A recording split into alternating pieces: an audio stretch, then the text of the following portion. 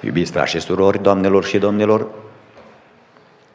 pentru mesajul special, perspectivă profetică 2013, care poartă și supratitlul Ghicitoarea lui Samson. Cuvântul lui Dumnezeu este din Judecători, capitolul 14, versetele 5 la 9 și apoi continuare versetele 12 la 14. Judecători 14, versetele 5 la 9 și apoi 12 la 14. Să ascultăm cuvântul Domnului. Samson s-a coborât împreună cu tatăl său și cu mama sa la Tibna. Când au ajuns la viile din Tibna, iată că i-a ieșit înainte un leu tânăr mugind. Duhul Domnului a venit peste Samson și fără să aibă ceva în mână, Samson a sfâșiat pe leu cum se sfâșie un ied. N-a spus tatălui său și nici mamei sale ce făcuse. S-a coborât și a vorbit cu femeia aceea și i-a plăcut. După câtva timp s-a întors iarăși la Timna ca să o ia și s-a abătut să vadă hoitul leului. Și iată că în trupul leului era un roi de albine și miere. Și a luat mierea în mână și a mâncat-o pe drum. Și când a ajuns la tatăl său și la mama sa, le-a dat și au mâncat și ei din ea. Dar nu le-a spus că luase mierea aceasta din trupul leului. Samson le-a zis, am să vă spun o ghicitoare. Dacă mi veți ghici în cele șapte zile ale ospățului și dacă o veți dezlega, vă voi da 30 de cămăși și 30 de haine de schimb. Dar dacă nu veți ghici, să-mi dați voi 30 de cămăși și 30 de haine de schimb. Ei au zis, spune-ne ghicitoarea ta să o auzim. Și el a zis, din cel ce mănâncă a ieșit ce se mănâncă și din cel tare a ieșit dulceață. Amin. Iubiți frați și surori, doamnelor și domnilor, trebuie să reamintesc și în această seară cu smerenie și spre gloria lui Dumnezeu. În Biserica Emanuel am creat din anul 1988 încoace un obicei sfânt, prin care, în prima zi din anul în care Dumnezeu ne îngăduie să intrăm, ne întâlnim împreună și privim în cuvântul Domnului în aspectul lui profetic. Cuvântul ne-a fost dat ca să fie o lumină pentru noi și să știm să umblăm drept pe cărare cu Dumnezeu. Să știm unde ne găsim din perspectiva lui Dumnezeu. Ce vremuri trăim. Cât de aproape suntem de venirea Domnului nostru Isus Hristos. Și ce fel de evenimente se întâmplă în generația aceasta înaintea venirii Domnului nostru Isus Hristos. Înainte de a rosti mesajul profetic al acestei seri, vreau să împlinesc cuvântul Domnului care spune cui datorați cinste, dați cinste. Vreau să mulțumesc câtorva persoane care m-au ajutat în pregătirea mesajului, în primul rând soției mele, care a avut răbdare cu mine de fiecare dată și acum să pot să studiez, să pot să cercetez, ca să pot să vin informat în fața dumneavoastră și să pot să prezint bine cuvântul lui Dumnezeu. Apoi vreau să mulțumesc lui Anca Cocan și lui Găbița Damian pentru că mi-au pus în computer uh, mesajul. Deja s-au înțelepsit, sunt soții mai bune, nu au probleme soții cu ele. Și vreau să-i mulțumesc lui Călin pentru că el uh, m-a ajutat să-l editez și să îl pun într-o formă uh, editorială uh, reușită. Și haideți să pornim la drum. Prin harul și binecuvântarea lui Dumnezeu, iată că am intrat în anul 2013. Predicțiile celor fără de Dumnezeu, cum au fost predicțiile Maia. chiar dacă au fost corecte din punct de vedere științific, astronomic. Ele n-au fost corecte din punct de vedere al planului lui Dumnezeu în ce privește vremea sfârșitului și în ce privește destinul omenirii. De ce? Pentru că diavolul nu are abilitatea să cunoască viitorul. Această abilitate o are unul singur, Dumnezeu. Consultați aceste pasaje scripturale, Isaia 46 cu 10, 45 cu 2, 48 cu 3 la 6, Psalmul 33 cu 11. Sunt specificații din partea lui Dumnezeu potrivit cărora singurul care știe ce se întâmplă înainte ca lucrul respectiv să fie în ființă este doar Dumnezeu. De aceea, el poate cu 150 de ani înainte ca Cirus al Persiei să se nască, să spună, am chemat pe robul meu Cirus. Îl cheamă și îl numește pe nume. Și cuvântul lui Dumnezeu, care este temelia adevărului, nu dă greș în niciodată. De aceea, în orice vrem să facem, trebuie să stăm în cuvântul Scripturilor. Azi am intrat în anul 2013. Sigur, întrebarea noastră este aceasta. Cum vom privi la acest an? Cum vom privi la profețiile biblice? La ce să ne uităm? Și Dumnezeu mi-a pus pe inimă anul acesta să ne uităm împreună la ghicitoarea lui Samson. M-a preocupat de multă vreme acest pasaj, vă spun cu frică de Domnul, de câțiva ani de zile meditez la el, ani de zile. Pentru că Dumnezeu m-a făcut să înțeleg că ceva adânc, ascuns, este în această ghicitoare. Și nu am pretenția că am epuizat toată cercetarea teologică, biblică, ă, escatologică sau profetică în această direcție, dar cred că Dumnezeu mi-a dat um, o descoperire potrivit căreia uh, vom vedea că anul acesta poate să fie o parte din această ghicitoare. Și văzând planul lui Dumnezeu în ghicitoarea lui Samson, nu pot să fac decât ceea ce am spus de multe ori în această biserică și vorbesc de multe ori singur, nu pentru că am probleme, ci pentru că mă bucur înaintea Domnului, așa cum spune Psalmul 103, nu vorbește cu sufletul tău, binecuvintează suflete pe Domnul, vorbește cu tine. Vorbesc de multe ori singur când studiez Scriptura, minunându-mă de cuvântul lui Dumnezeu. Și cred că nu voi înceta niciodată să mă minunez de frumusețea cuvântului lui Dumnezeu. Cine s-a putut gândi că această căsătorie a lui Samson cu o filisteancă, că omorârea leului în drum spre Timna, că așezarea albinelor în trupul leului. Și miere produsă în trupul leului, în realitate este o repetare a istoriei lui Israel, care se desfășoară sub ochii noștri în aceste vremuri din urmă, după cum vom vedea imediat. Și în adevăr, acesta este aspectul esențial al ceea ce Biblia numește ghicitoarea lui Samson. Samson, ca om al lui Dumnezeu, este un erou al poporului evreu un erou al credinței sfinte date oamenilor odată pentru totdeauna. Evrei 11 cu 32. Samson este un erou al culturii universale. Eminescu, scrisoarea treia, nu? O dedică în prima parte lui Samson. Biblia ne povestește de Samson, cum că muierea, când dormea tăindu-i părul, i-a luat toată puterea. Tinerii, probabil că este bine să mai deschide câte o carte românească. Așa. Deci Samson este și în cultura universală a popoarelor.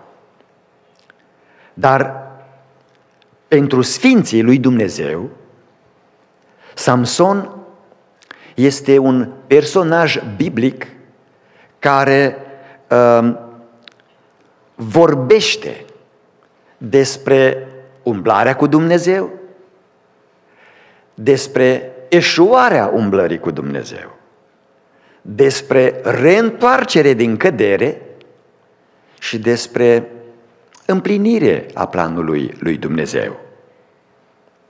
Tribal sau genealogic, Samson se trage din spița lui Dan, judecător 13 cu 2.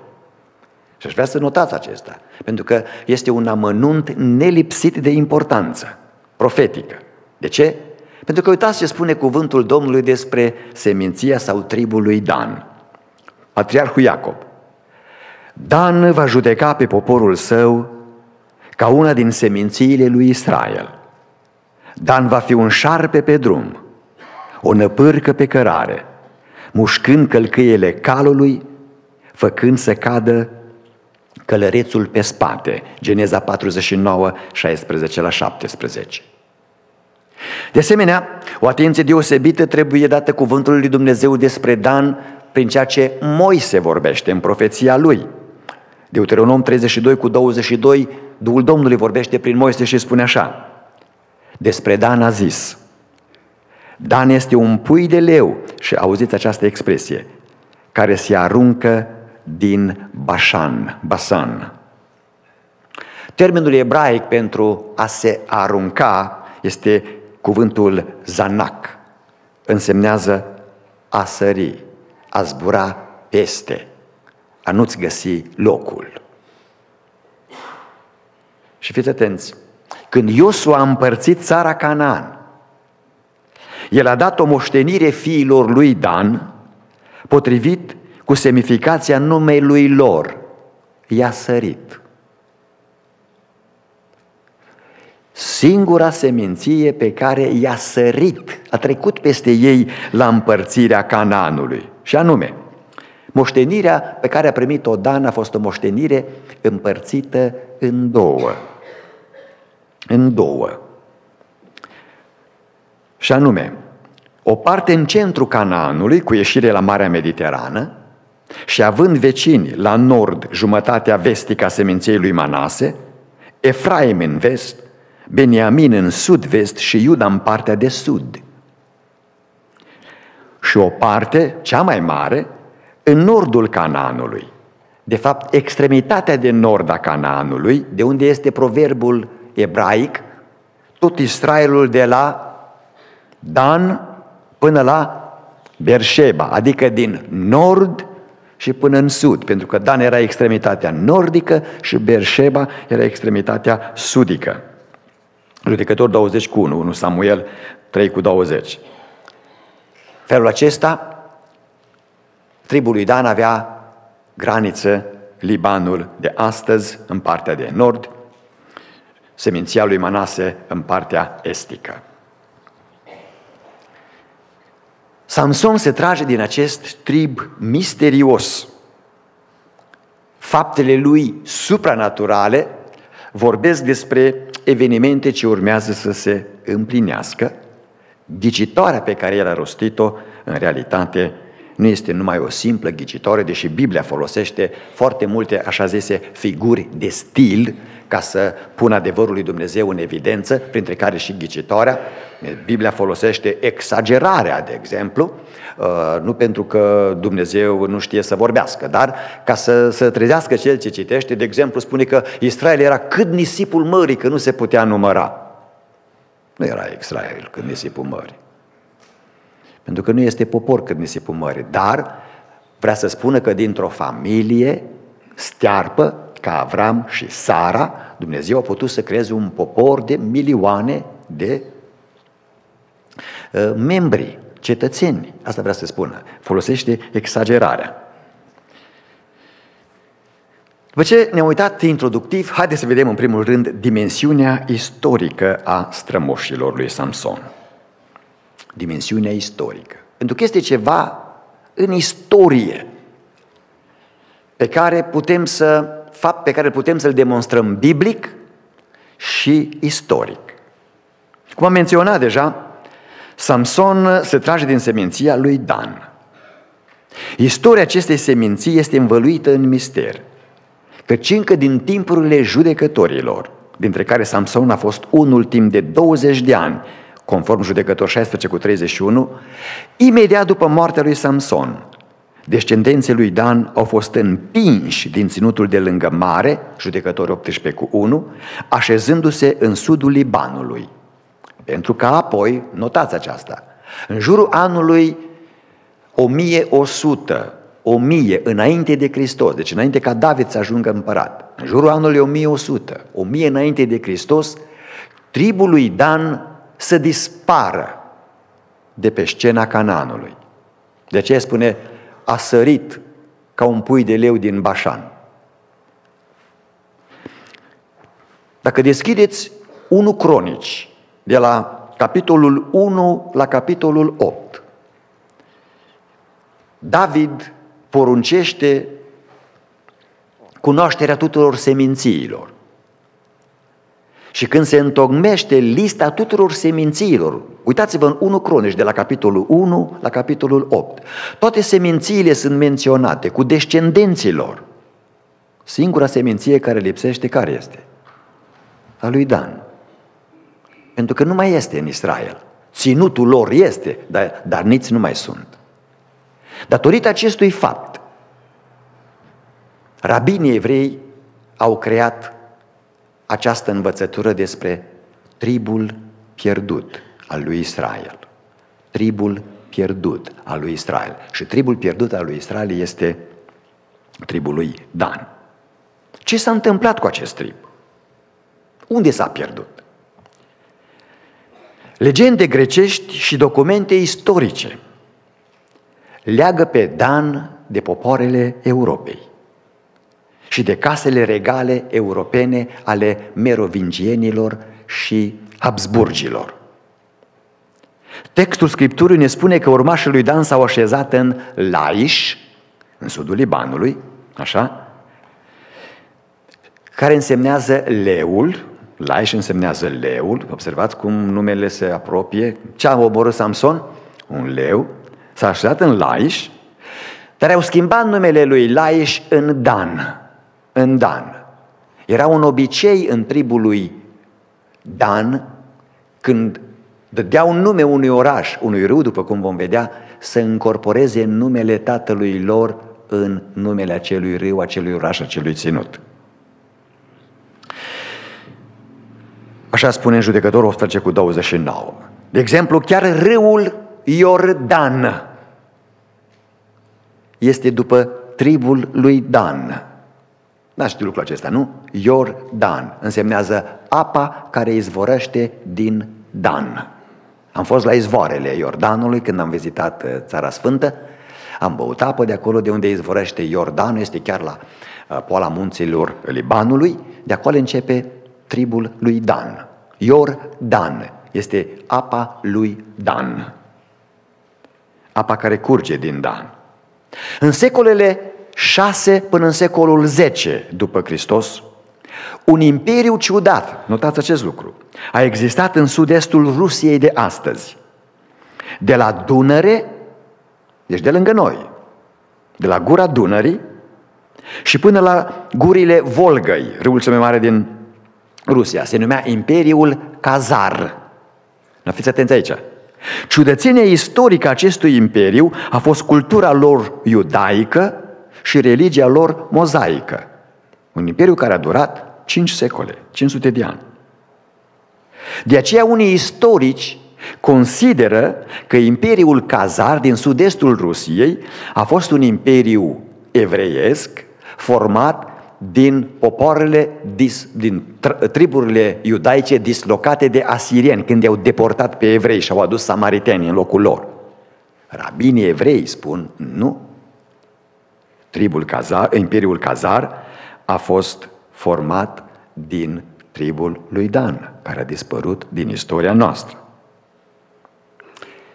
Argument pentru aceasta, cum am spus, potrivit judecătorul 18 cu 29, daniții, dacă cucereau un loc, îi dădeau numele după tatăl său, încorporau Dan în, în loc. Sunt patru râuri aici care portă numele lui Dan. Primul este Dunărea. Numele latin este Dan Nubius. Dan Ubius. Râul lui Dan. Al doilea este Dnistru. Al treilea este Dniprul. Și al patrulea este Domnul, Dan. Deci, un obicei în care să se vadă Dan, că este peste tot.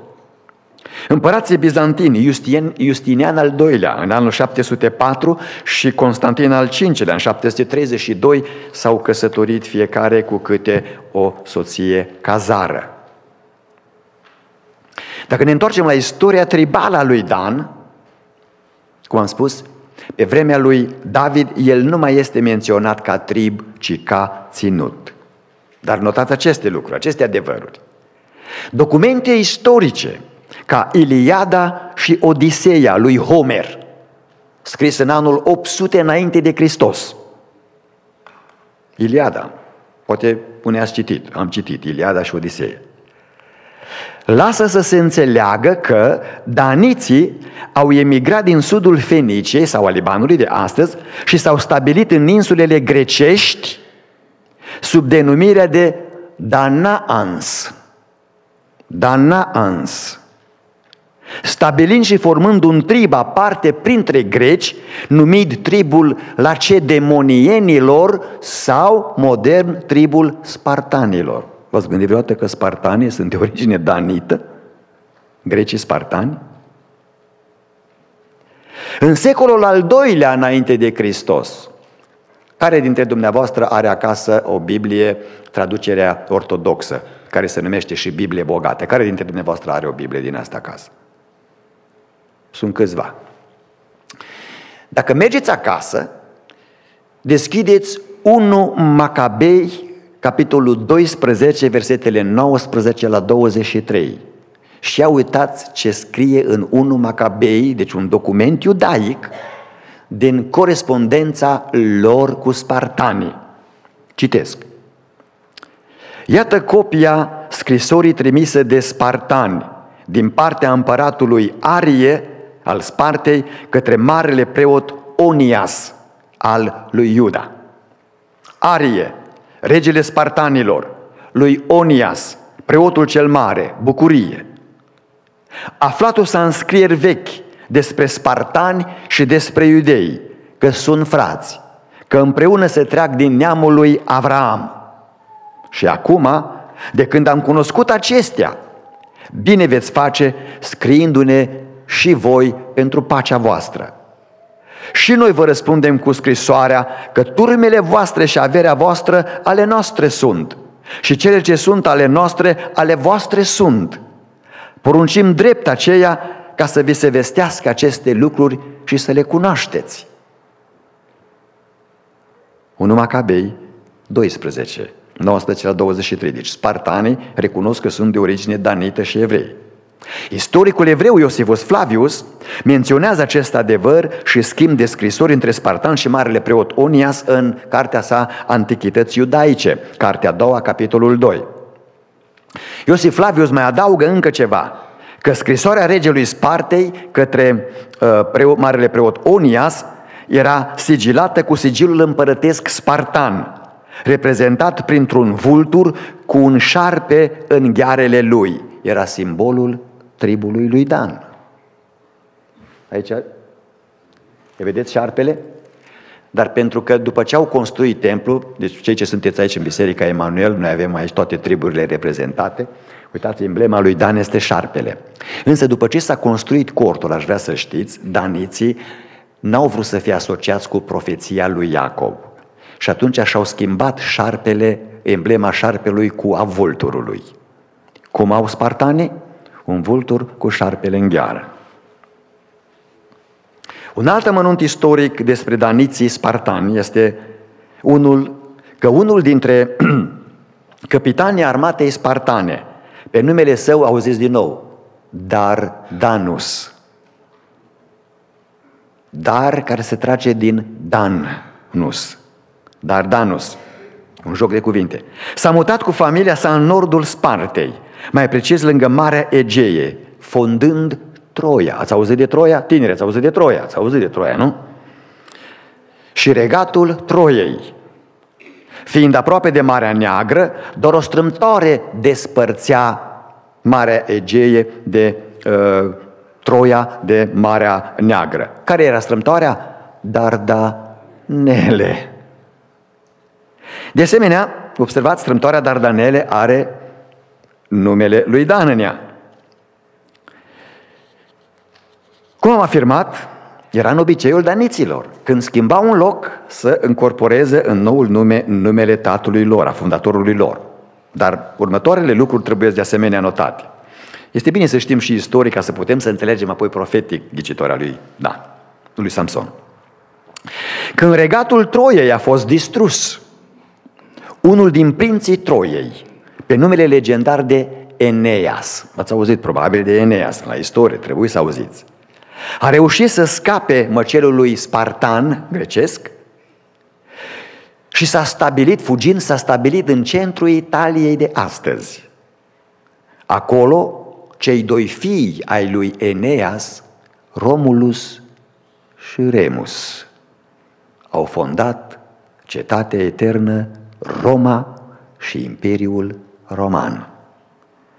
Poetul roman, celebru, Publius Virgilius Maro, care a trăit între 70 înainte de Hristos, 21 înainte de Hristos, în celebra sa operă Eneida, în 12 cărți, acordă atenție specială acestui adevăr. Acum, cunoscând lucrurile pe care vi le-am spus, frați și surori, veți putea înțelege mai ușor originea lui Anticrist. Datorită Scripturii și istoriei, Anticrist poate să aibă una din următoarele patru origini. 1. El poate să fie originar din Dan, Geneza 49, 16 la 17, ca un șarpe, spune, care mușcă.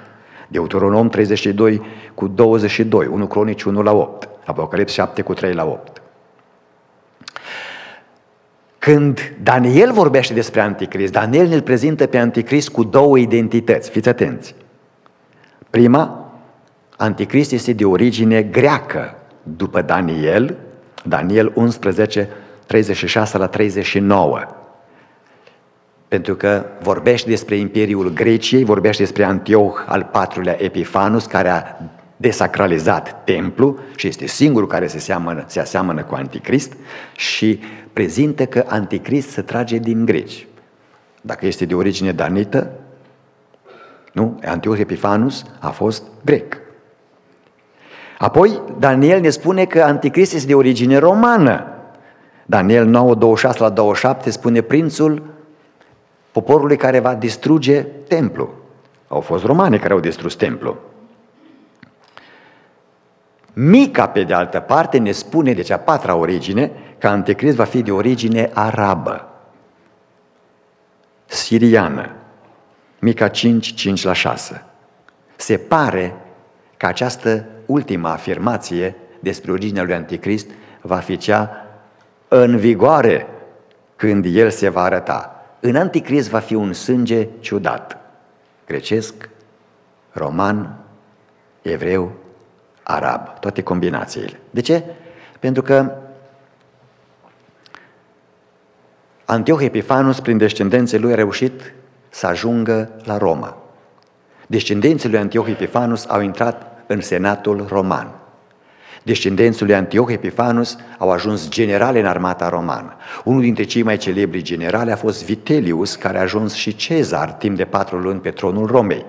De asemenea, din descendenții greci lui Antioch Epifanus, uh, printre uh, celebritățile uh, romane care, uh, care au trăit, sunt oameni care au ajuns în casele regale europene. Nu este timp acum să pot să vă arăt toată istoria pentru că vrem să ne întoarcem înapoi la profeție. 2. Dimensiunea profetică a ghicitorii lui Samson. Am prezentat o dimensiune istorică pentru ca să înțelegem, pentru că Samson se trage din Dan, să vedem pe unde umblă istoria. Viața lui Samson și elementele ghicitorii lui vorbesc fără echivoc despre detalii profetice gata să se împlinească în această generație, chiar în acest an. Este știut, frați și surori, doamnelor și domnilor, că numerele în Scriptură au un rol important alocat lor de Dumnezeu. Numerele. Samson, notați, este al 13-lea judecător în Israel și apare în capitolul 13 din judecători. Potrivit teologului american J.W. Bullinger, în cartea sa Numbers in Scripture, publicată în 1926, scriitor englez în Londra, și a doctorului Ed Valowi, în cartea sa Biblical Mathematics, publicată în Georgia, 1991. Numărul 13 este asociat cu depravare, cu rebeliune, cu rău. Toate numerele, toate numele diavolului. Știți că era în vechime ă, o știință numită gematria. Ă, pentru că nu aveau cifre arabe cum avem noi în aritmetică pe vremea aceea, alfabetul avea și valoare aritmetică, matematică. A corespundea cu 1, B cu 2, C cu 3. Așa. Și atunci toate numele pe care diavolul le are în Scriptură, diavol, balaur, satana, toate numele lui când însumezi valoarea numerică a numelui pe care îl iei, toate numele lui se împart la 13. Toate numele lui se împart la 13. De exemplu, o inimă rebelioasă în definiția lui Isus Hristos, are 13 caracteristici. Ia să vedem cine se găsește.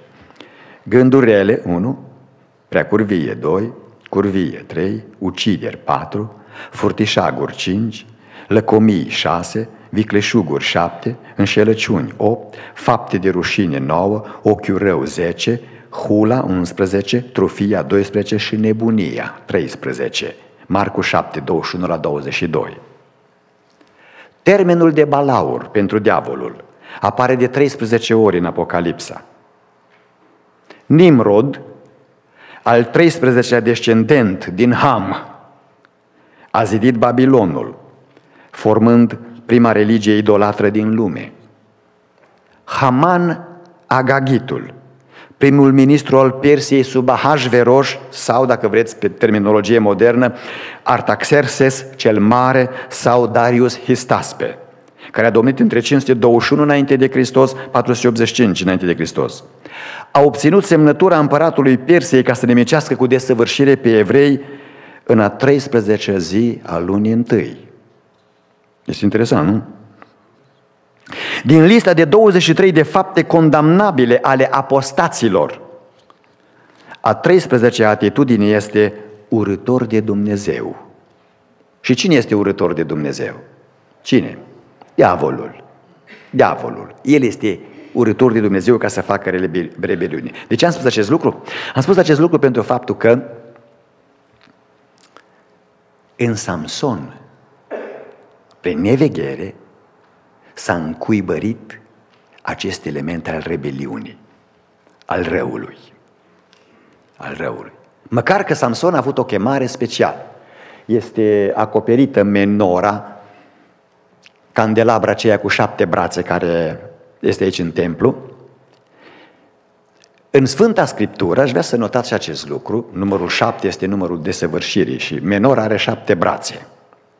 Brațul din mijloc este cel mai mare, este brațul mai înalt și în gândirea iudaică se numește The Servant Lamp, adică lumina slujitoare. În Sfânta Scriptură, frașesurilor, doamnelor și domnilor, sunt șapte femei sterile, sterpe, care n-au putut să aibă copii. Sara, Geneza 11 cu 30, Rebecca, Geneza 25 cu 21, Rahela, Geneza 29 cu 31. Soția lui Manoah, mama lui Samson. Judecător 13 cu 2, Ana 1 Samuel 2 cu 5, 1 cu 6, Israel în dispersie, Isaia 54 cu 1 și Elisabeta, Luca 1 cu 7 și cu 36. Mama lui Samson este a patra. Samson însemnează fiul soare Pentru că el în această candelabră de șapte, el este în mijloc. El trebuia să fie un izbăvitor pentru Israel, un prototip al Domnului Isus Hristos. Fapt în care el a eșuat amarnic. A eșuat amarnic. Samson s-a născut din tribul lui Dan. Rahela, care trebuia să fie mama lui, care era stearpă, a vrut să aibă un copil cu orice preț. Așa că, după teologia din Geneza 3 cu 15, că o femeie sfântă va naște pe Mesia, sămânța femeii, este posibil că Rahela a dorit să fie ea cea care să-l producă pe Mesia. În dorința ei de a-l produce pe Mesia, a încercat să facă lucrul acesta printr-un surogat. A luat pe țeitoarea, slujitoarea ei, pe Bilha și a dat-o lui Iacob. Geneza 31 la 6. Și s-a născut Dan. Mai târziu, în istoria națiunii iudaice, când se pregăteau uneltele pentru cortul întâlnirii, și acest lucru este important, Moise a numit doi specialiști care să execute uneltele pentru cortul întâlnirii. Pe Bețaleel din Iuda, Exod 31, 1 la 5, și pe Oholiab din Dan, Exod 31 cu 6. Se pare că după acest eveniment, după acest eveniment de executare a cortului întâlnirii, între tribul lui Dan și tribul lui Iuda a fost o rivalitate continuă. O rivalitate continuă cine va produce pe Mesia. Și datorită acestei rivalități este explicabil printre evrei că Dan a sărit din Bașan. A plecat din națiunea iudaică, s-a dus în lumea mare, ca să caute ei modalități de a-L produce pe Mesia și să -l aducă pe Mesia pentru instaurarea unei noi ordini internaționale, bineînțeles, nebiblice. Nebiblice. Samson, fiul Soare, Samson de la Shemeșon și Shemeș, trebuia să aducă lumină în Israel, dar s-a întinat cu păcat și cu părăsirea nazireului, nazireatului. De aici începe ghicitoarea lui. Și acum notați. Omorând leul, potrivit judecător 14, 5 la 6, este posibil că Samson a comunicat următoarea profeție. Iuda este leul lui Dumnezeu, ca așa au spus profeții. Nimicindu-l, daniții vor produce pe Mesia și astfel o lume nouă, o nouă ordine internațională, una utopică va fi creată pentru binele omului, aparte de planul lui Dumnezeu.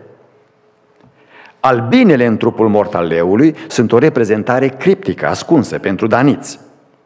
În literatura greacă, spartanii erau numiți poporul ursului, adică poporul care mănâncă miere, poporul ursului.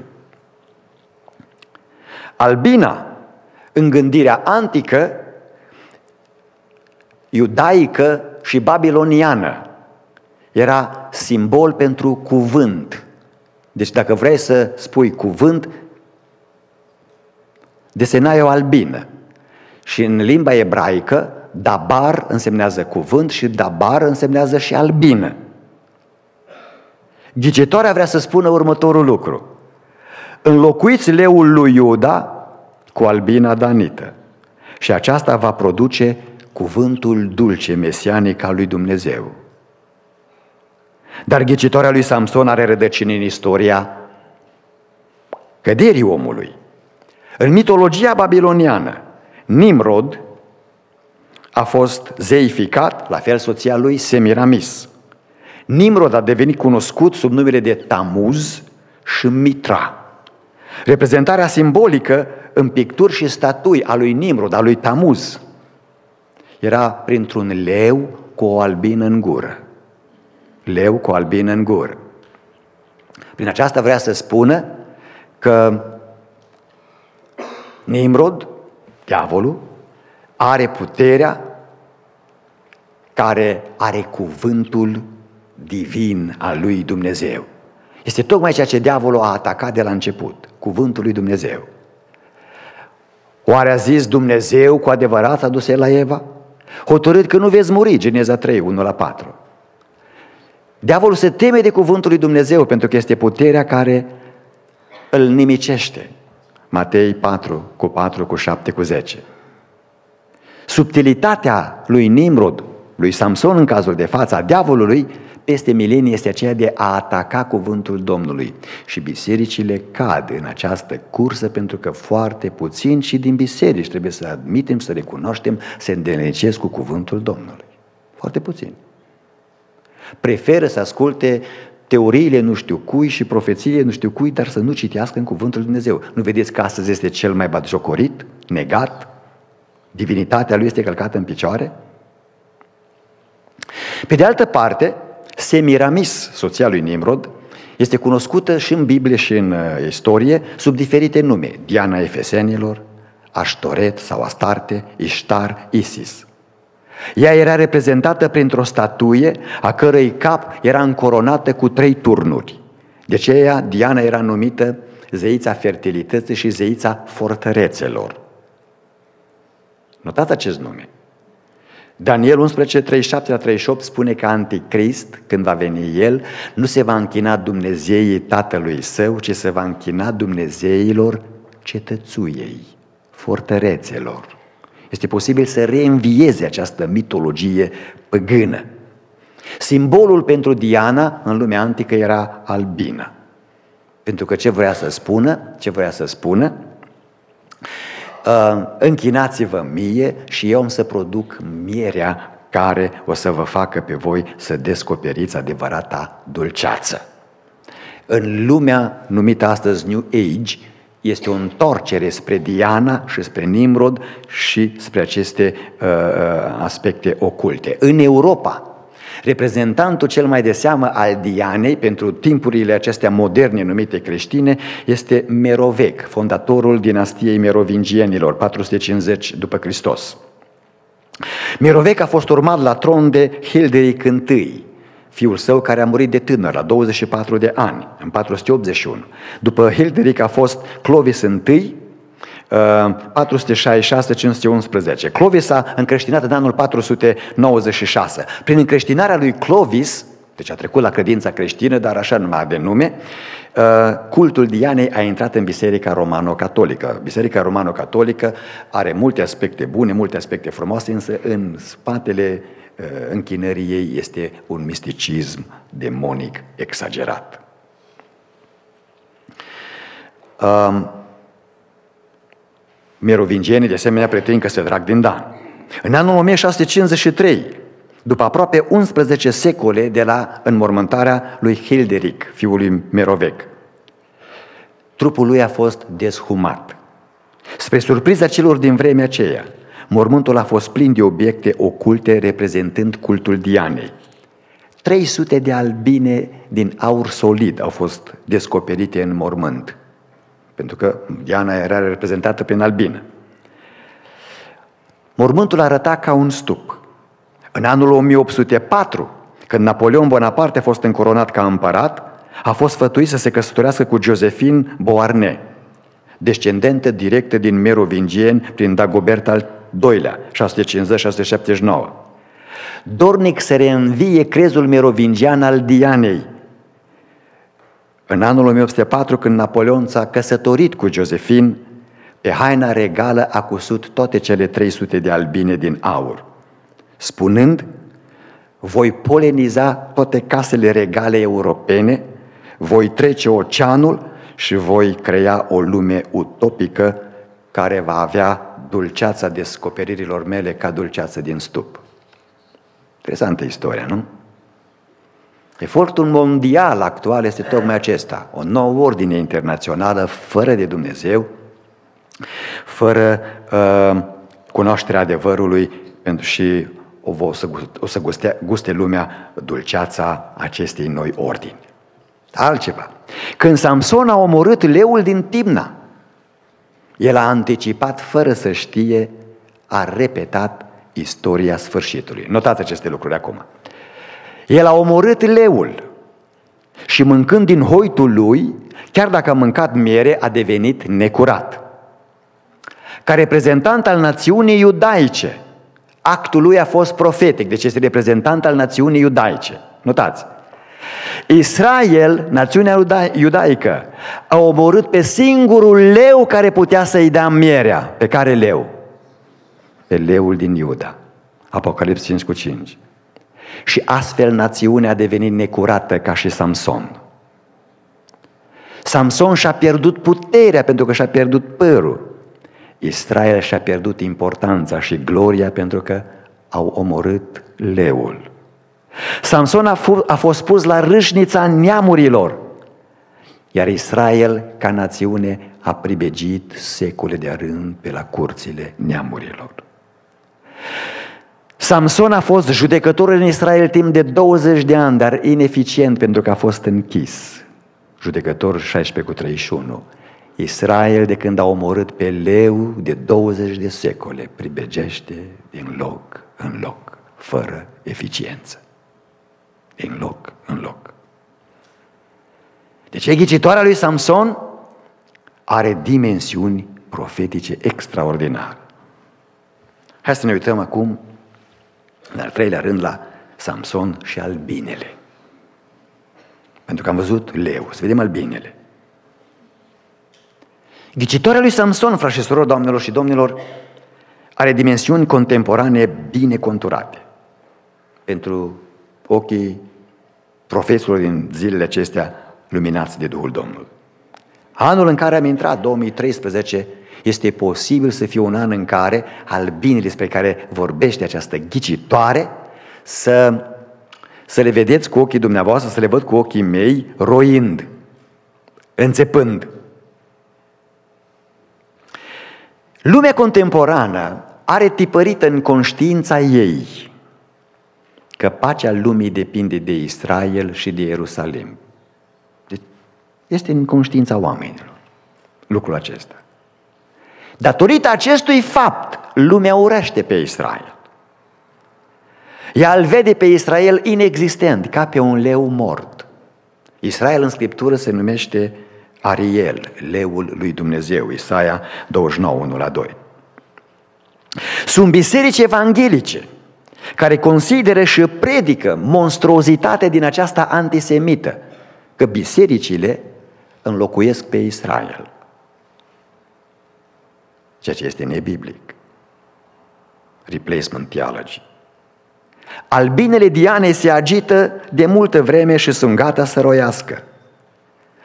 Cine sunt ele? Să le vedem biblic. Sunt reprezentări, trei, reprezentate de trei grupuri antisemite actuale. 1. Primul grup. Albinele Diane.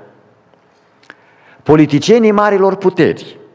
America, Europa de Vest, Rusia, China și ONU. Deci cam toată lumea. Și uitați ce au făcut. Anul trecut, în 2012, politicienii aceștia n-au votat America, dar America a împins ideea. Au aprobat temporar un stat palestinian.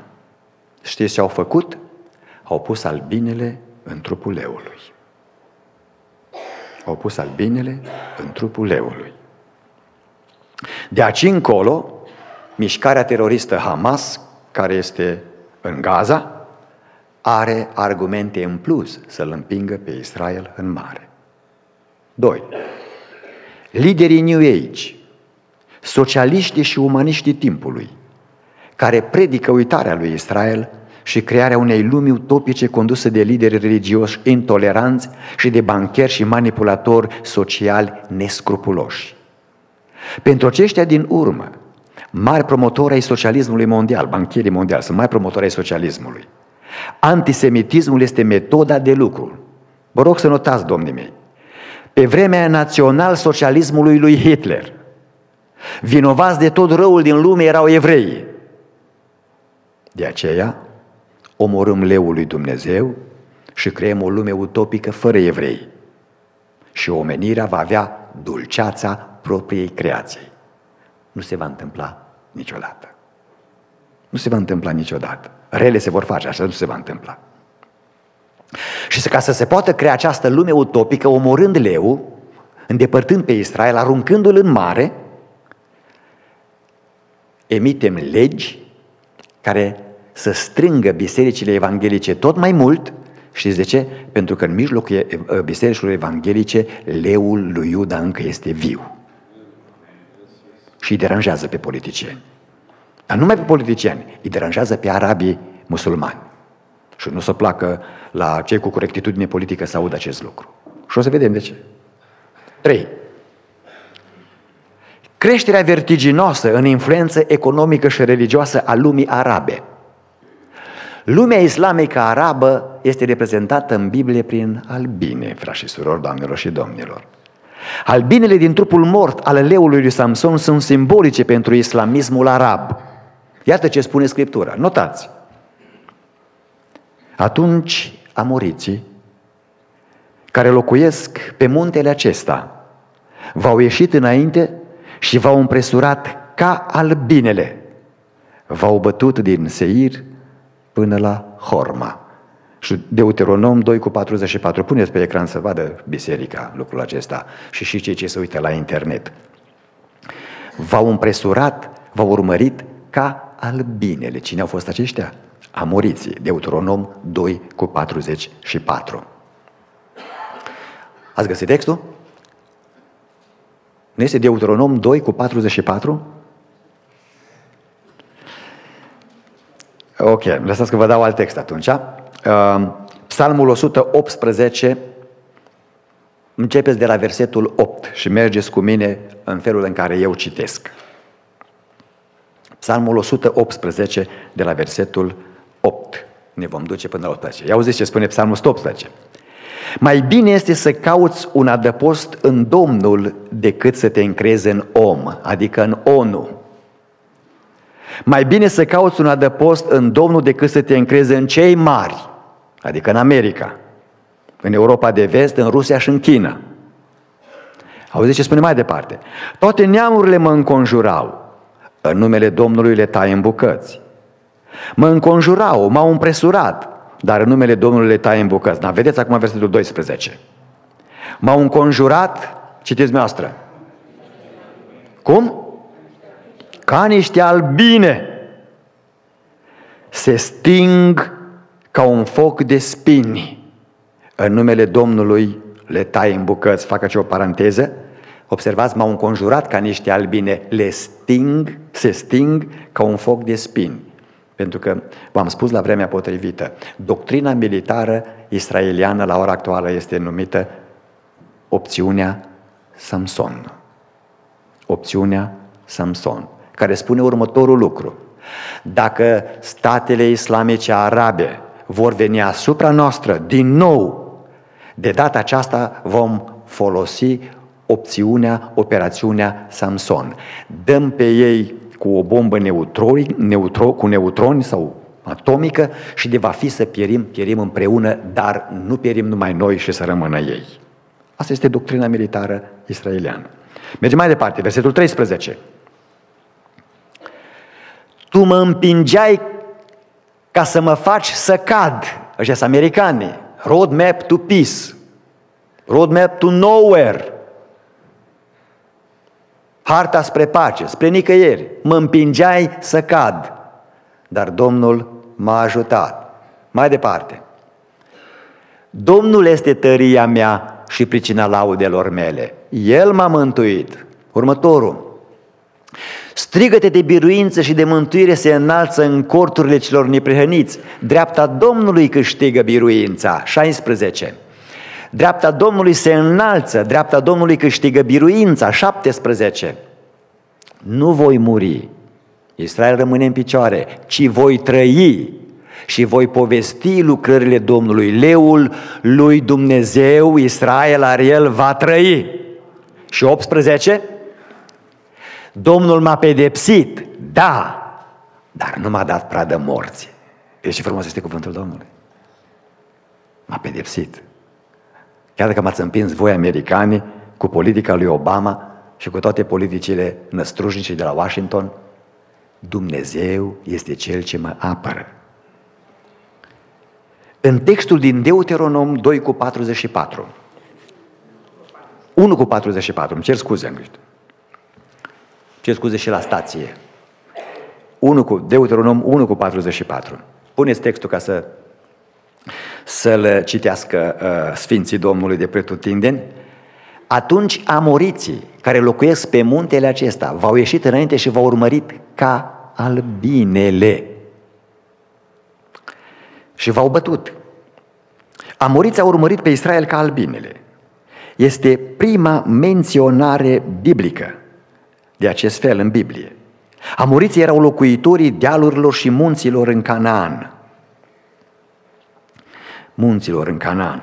Au fost o populație care a acceptat în idolatria lor să se amestece cu demonii, devenind o rasă de nefilimi, de urieși înspăimântător pentru omul obișnuit și chiar pentru cei 10 spioni evrei. Numer 13 cu 33, Deuteronom 1 cu 28. Că lucrul acesta este adevărat. Știu că pe unii dintre dumneavoastră care ne urmăriți la internet vă deranjează când auziți aceste lucruri. Uh, vi se pare că pastorul Gog vorbește din alte evanghelie. Probabil că este bine să mai studiați și să faceți un pic de muncă de cercetare, ceea ce sunteți obișnuit cu spiritul critic. E bun spiritul critic, dar dacă cineva critică trebuie să știe ce critice, ce critică.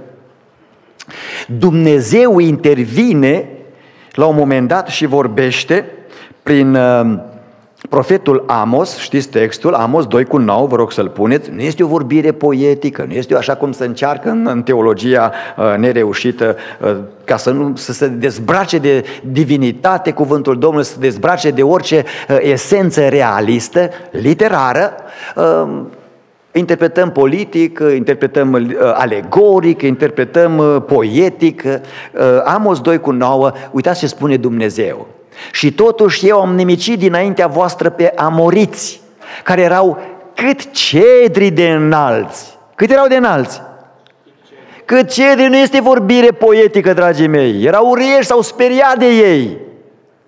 Și tari ca stejarii Asta vorbește Dumnezeu. Dacă ești pe Dumnezeu nu-L credeți pe cuvânt, atunci probabil că ați citit în Coran.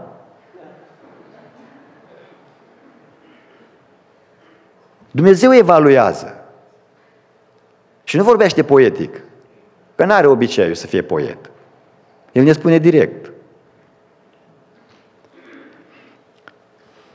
Deci uriașii aceștia, ca niște albine, au venit să îl omoare pe Israel. Este evident că amestecul cu duhurile rele, potrivit Geneza 6, 1 la 4, a fost o realitate în lumea antică.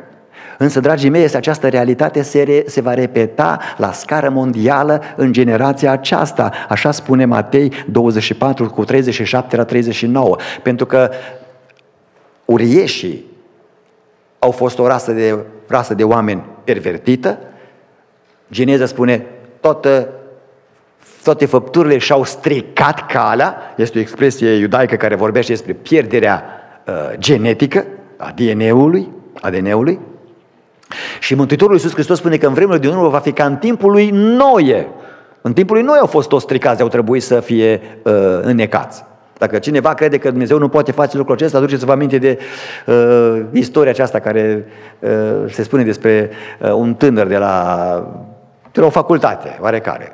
L-a tot invitat niște prieteni la biserică și s-a convertit omul. S-a convertit. Și știți dumneavoastră, când ești în dragostea din tâi, toate le vezi că le face Dumnezeu. Atunci când ești în dragostea din tâi. După ce ți străcește dragostea, nu-L mai vezi pe Dumnezeu. Dar în dragostea din tâi și dacă ai prins autobuzul în stație, ce m-a ajutat Dumnezeu și am prins autobuzul. Într-un weekend s-a retras în casă, în dormitorul lui, spune istoria aceasta și acest student convertit, citea din Scriptură și se bucura, striga, aleluia, mare este Dumnezeu, slăvi să fie Domnul. Decanul ar fi trecut pe acolo, nu știu, nu cred că a fost fratele Eugen, uh, și uh, a bătut la ușă. L-a auzit strigând, aleluia, mare este Dumnezeu. Și ce faci, domnul student? Mă bucur. Cu cine te bucuri? Singur. Dar cum te bucuri singur? Bine, ce citesc în Biblie. Și domnul student, asta este o facultate serioasă. Deci, noi învățăm pe oameni să gândească, nu să creadă mituri și iluzii. Dar ce ai citit de te-ai mișcat așa de tare? Și am citit cum uh, Dumnezeu, zice, a deschis Marea Roșie, i-a trecut pe evrei prin Marea Roșie, zice, slăvit să fie Domnul. Și apoi a necat pe toți egiptenii. Și domnul student, este demonstrabil acum, zice că evreii n-au trecut pe acolo, au trecut printr-un loc mlăștinos, plin cu trestii, nu știu dacă era apă până în glezne. Și l-a descumpărit puțin. Și a plecat uh, decanul, spune istoria. Abia a închis ușa și l-a auzit pe student strigând mai tare, Aleluia, slăvit să fie Domnul! Mare este Dumnezeu! S-a întors înapoi și a zis, dar care-i treaba Domnul student? Deci credeți că e descoperit științific așa că a fost apă până în glezne? Da. Atunci Dumnezeu e mare. Dacă a putut să-i nece pe toți egiptenii în apă până în glezne, trebuie să fie mare. Da. Istoria, istoria, istoria o să se repete, dragii mei.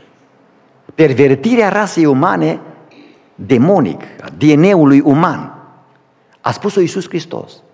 Se întâmplă în vremea sfârșitului, că va fi ca pe vremea lui Noi. Ca urător de Dumnezeu, diavolul caută mereu să nemicească pe leul lui Dumnezeu, pe Ariel, adică pe Israel, potrivit Isaia 29, 1 la 2.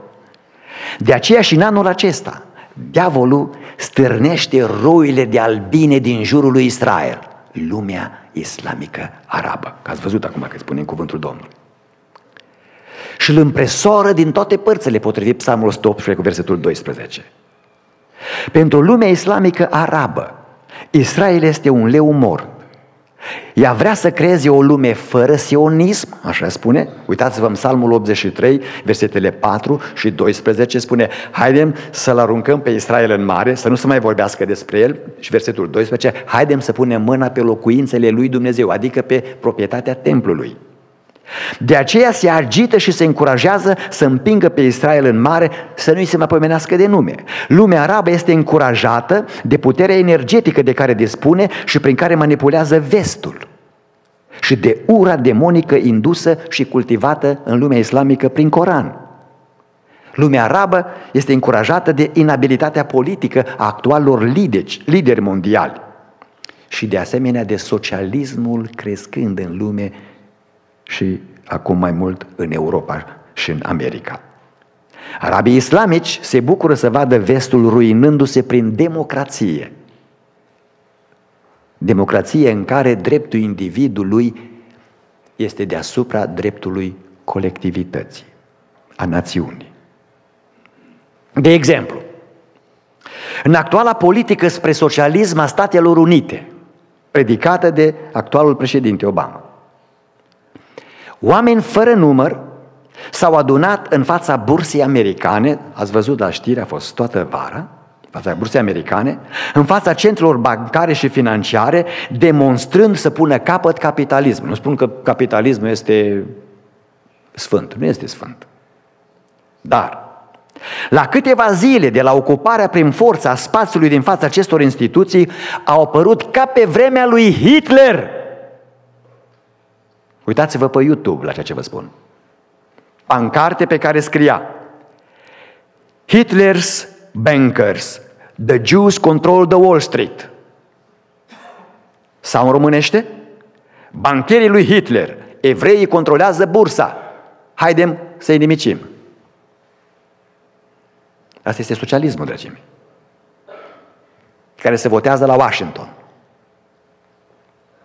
de care noi am fugit și am crezut că am scăpat de el. Am crezut că am scăpat de el. Pe cine deranjează? Pe politicieni? Nici de cum. Administrația Obama vrea să creeze o societate socialistă în care acumulările celor bogați să fie distribuite populației. Ați auzit cuvântul bălonis? Gogoși. Când pune el mâna pe bani, nu îi împarte la nimeni nicio grijă.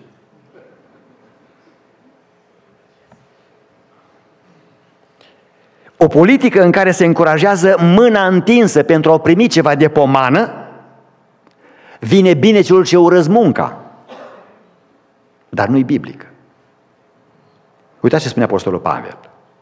Dacă învață cineva pe oameni învățătură deosebită de cea biblică, și nu se ține de cuvintele sănătoase ale Domnului nostru Isus Hristos și de învățătura care duce la evlavie. Este plin de mândrie și nu știe nimic. Ba încă are boala cercetătorilor fără rost și a certurilor de cuvinte, din care se naște invidia, certurile, clevetirile, bănuielile rele, zadarnice ciogniri de vorbe ale oamenilor stricați la minte, lipsiți de adevăr și care cred că evlavia este o sursă de câștig. Munca este o sursă de câștig. 1 Timotei 6, 3 la 5. Albinele islamice vor un Israel, un leu mort cu adevărat. Recentul stat, statut cu stat ă, cu drept de observator la ONU pentru palestinieni este o stimulare pentru lumea islamică arabă, pentru aceste albine, să-și scoată veninul. Ele n-au dulceață, au venin. Arabii islamici văd deja o lume utopică. Nu mă înțeleagă cineva că eu sunt anti-arab. Nu. Ca așa cum a iubit Dumnezeu pe mine, iubește și pe ei. Dumnezeu să mântuie toată lumea arabă. Sunt miliard și 200 de milioane. Dar religia lor este demonică. Religia lor. Coranul. Vă rog să fiți atenți la ce spun acum, ca să nu înțelegeți altceva. Arabii islamici văd deja o lume utopică, idealistă, într-un, într-o formă de organizare pe care, pe care eu o numesc califat, deci o formă de organizare califat unde conduce Allah. Din Iran și până în Maroc, incluzând Europa, mierea lor este sabia sau omorârea cu bucurie a oricăruia care nu crede ca ei și nerăspundere în fața legii, șaria, care vine și în America. Psalmul 118 cu versetul 13. Tu mă împingeai, spune aici, Israel, America, Europa, China, Rusia, ONU. Mă împingeai să cad, dar Domnul m-a ajutat. Se pare că odată ce administrația americană va fi reinvestită pentru următorii patru ani la putere, Israel va fi împins mai mult pentru că vor să lasă o moștenire în urmă. Ce moștenire? Vor, vor să-l împingă pe Israel tot mai mult spre prăpastie pentru acest scop destructiv al albinelor musulmane. Crearea statului palestinian este echivalent profetic, frați și surori, doamnelor și domnilor, cu așezarea albinelor în trupul leului.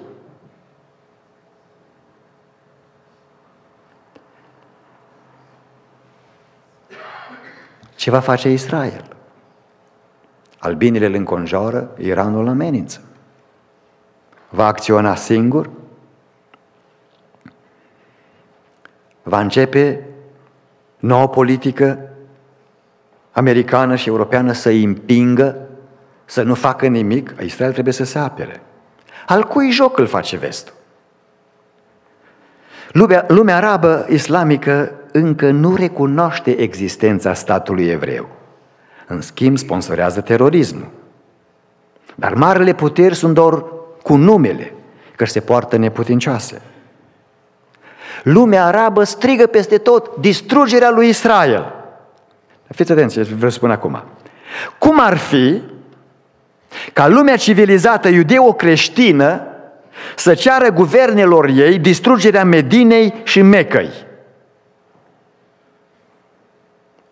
Capitala șarpelui musulman din Arabia Saudită. Politic și logic n-ar trebui să deranjeze pe nimeni, că ar fi unul la unul.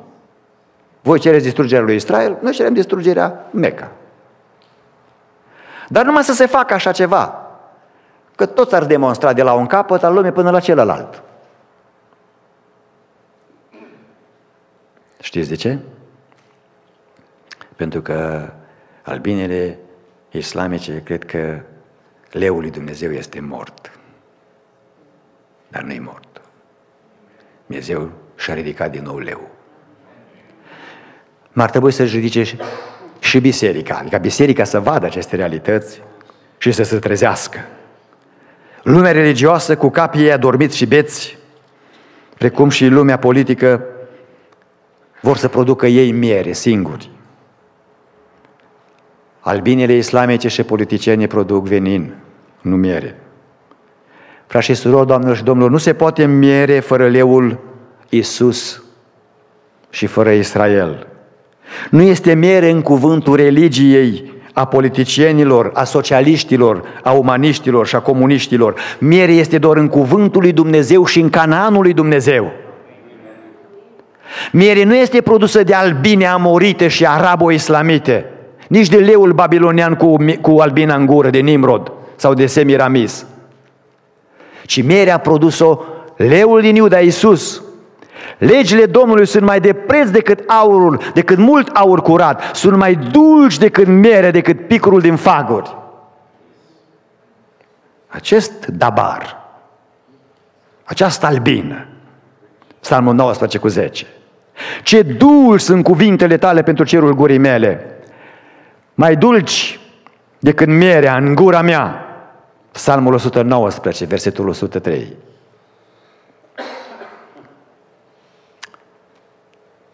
Ne stă în față un an în care albinele din jurul lui Israel s-ar putea să roiască. S-ar putea să roiască. Va fi spre pieirea lor din nefericire. Pentru că doctrina militară israeliană, opțiunea Samson, va spune, ca Samson, pierim odată. Cum zice Scriptura în Psalmul 118, versetul 12, m-au înconjurat ca niște albine, dar să sting ca un foc de spini. În numele Domnului îi tai în bucăți. Domnul își va apăra leul de data aceasta. Ne stă înainte un an în care noi fețe ale socialismului se vor prezenta. Și aceasta începe de aici din America. Un an de ineptitudine politică, neputință intelectuală, ignoranță religioasă și pentru mulți necunoașterea adevărului Scripturii. Să pentru cei ce se încred în Domnul. Nu este un an de care trebuie să ne temem. De ce? Războaiele noastre sunt ale Domnului și biruințele sunt tot ale Lui. 1 Samuel 17 cu 4, 7, Zaharia 4, 6, 2 Cronici 20 cu 15. Nimeni nu trebuie să se sperie, dar ochii tuturor trebuie să se deschidă. În final, Samson și-a revenit. Nu vedeți că Israel a început să-și revină? Se trezește leul. Și când se trezește, următorul pas pe care l-a făcut Samson a zis să mor împreună cu filistenii. Distrug idolatria, distrug asupritorii, albinele. Dacă Israel este provocat și lui Israel este un război mare în față, este Armagedon. De data aceasta, Domnul va lupta pentru ei. Domnul va lupta pentru ei. Priviți în Scriptură. Poate aveți alte păreri față de cele pe care vi le-am prezentat cu frică de Domnul din Cuvântul lui Dumnezeu. Să ghicitoarele Samson este prea actual. Dimensiunile ei sunt prea vizibile, prea practice. Lumea noastră vede cu ochii desfășurată istoria acestei ghicitori. În trupul lui Israel s-au așezat albine, amorite, islamiste. Este înconjurat din toate părțile. Puteri din afară îl împing. Dar Israel le aduce aminte. Dumnezeu m-a pedepsit, da, dar nu m-a dat pradă morții. Mulțumim Domnului pentru puterea Lui de prezervare. Mulțumim Domnului pentru Israel. Știți de ce? Prin el avem legea, profeții și psalmi. Prin Israel ne-a venit Mântuitorul Iisus Hristos. De aceea nu putem să-L urâm, că-L urâm pe Iisus Hristos, care este evreu. Să ne rugăm Domnului pentru Israel, să ne rugăm Domnului pentru Biserica Emanuel. Rogă-te Domnul pentru biserica din care faci parte să fie o biserică vie. Și dacă auzi pe păstor sau pe vizitator predicând replacement theology, teologia înlocuirii lui Israel cu biserica, sfătuiește-l pașnic pe acel păstor, pe acel predicator, să facă ce a spus Domnul Iisus Hristos. Căutați în cartea Domnului și citiți. Nu citiți în altă parte. Dumnezeu n-a renunțat la Israel, așa cum zice Apostolul Pavel. Dacă căderea lor a fost o binecuvântare pentru neamuri, ce va fi? Plinătatea întorcerii lor. Doamne, trezește-ți leul de-a binelea. Iar leul tău, Dumnezeule, Iisus Hristos, să rămână viu în Biserica Emanuel, viu în familia mea, viu în viața mea. Aceasta este ghicitoarea lui Samson.